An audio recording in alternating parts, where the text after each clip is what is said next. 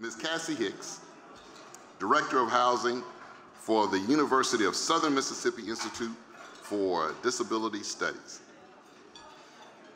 Cassie has, uh, has been a, a housing advocate for over 20 years in the state of Mississippi.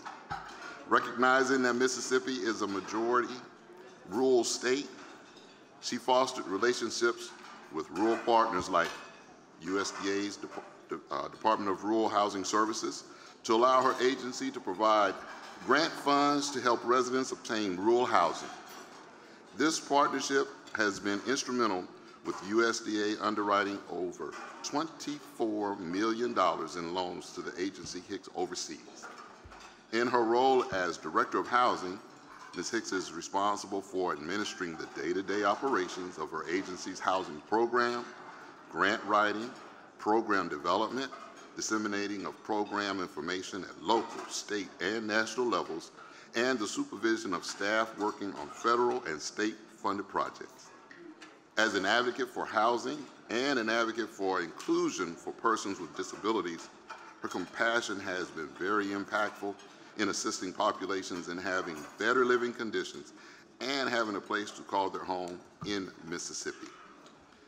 She has been with the agency for over 17 years and has served with many committees and boards, including uh, that include being a funding member of a founding member of HUD's Housing Counseling Federal Ad, uh, Advisory Committee, the Federal Home Loan Bank of Dallas Advisory Council.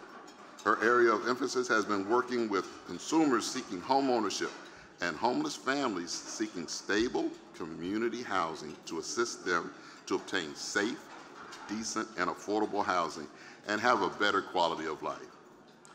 Ladies and gentlemen, let's welcome Ms. Cassie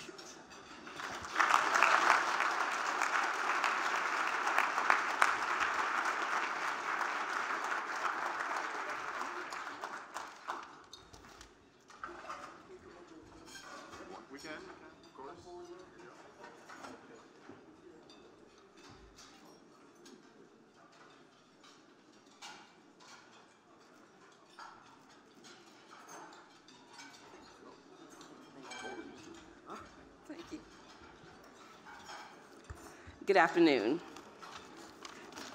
Good afternoon. I can get louder. I'm a homebuyer education instructor. So today I'm so thankful to God and to HAC for this award and this recognition, this honor. Especially thanks for rearranging your schedule on today to get me here to accept these, this award I promise you, I left home yesterday morning at 2.30 a.m. It was my intent to be here, but sometimes you just have to roll with the punches and let it go. And so I came in after one, so I missed that opportunity. So, thanks again for this time right now. Um, I'm blessed to have supporting me today my husband Ray and my brother, Master Sergeant Tim Lawton, who lives in the National Harbor area of Maryland. So my work in affordable housing in Mississippi began almost 25 years ago when I came into the arena of banking as a CRA officer. And I realized in that area I wanted to do more for my state. I was limited in the banking area there uh, in my locality. And so I came onto a program that they were just starting in many states. Um, Home of Your Own is the name of that alliance that many states began to bring forward to make sure persons with disabilities in their communities receive services that was out there. Awareness was an issue with many. Advocating for them to be able to do homeownership in the states was a problem for many. So this became a national initiative. And we came on board under the Institute for Disability Studies to help bring that initiative to our state. It was a very rewarding time for us but began to realize it was also was a time for much advocacy. We had groups, agencies, I would hate to say also lenders that did not know or believe persons with disabilities could enter the arena of homeownership and live on their own independently. So we had some hills to climb. But we began to climb those hills and bring on partners to help us advocate in our state. Mississippi being a much rural state, almost 3 million in our population, we began to reach out to your USDA offices to say, you know, we have consumers that are calling us that's using your program. They need us to help them with this housing issue around rural housing for them. USDA came on in a big way in that direct program. And we actually, as he mentioned before, $24 million is what our consumers have utilized the USDA direct program. So we were glad they were on board as a big partner for our rural state. The Federal Home Loan Bank of Dallas affordable housing program that was out there for special needs population in the rural areas came on board as a partner.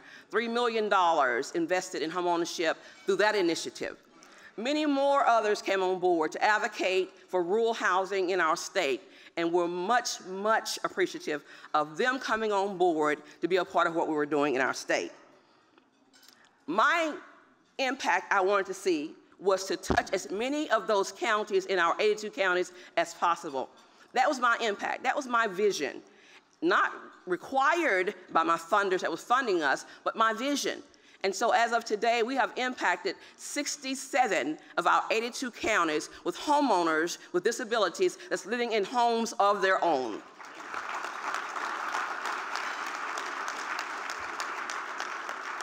As I take my seat before the bell rings on me, there's an old gospel song that we sang in our church. It says, May the work that I've done speak for me. May the service that I give speak for me. And may the life that I live speak for me. Today, in accepting this award, the Skip Jasons Award, I believe that the work, the progress, and the impact and the service have spoken. In accepting this award, I pray that the memory and the legacy of Mr. Skip Jason was given justice through my nomination and selection.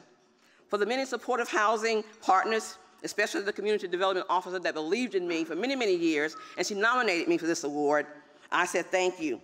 To HAC Selection Committee, I said thank you. I'll forever be grateful.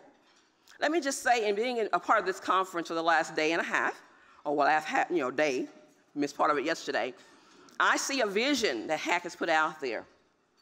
That's a very important vision and a mission for all of our states. And I'm happy to see at the helm David that's pushing that effort forward. On yesterday, I gave him another title. And the title I gave you, David, was David, the Hackster, the Hackster and his staff. To me, David is now David, the Goliath Slayer. Why Goliath Slayer, Cassie? because I see him at the task of slaying in the midst of those who's not at the table, who's not in the conversation about affordable housing in the rural communities. Good luck with that work, and we're here to support you. God bless.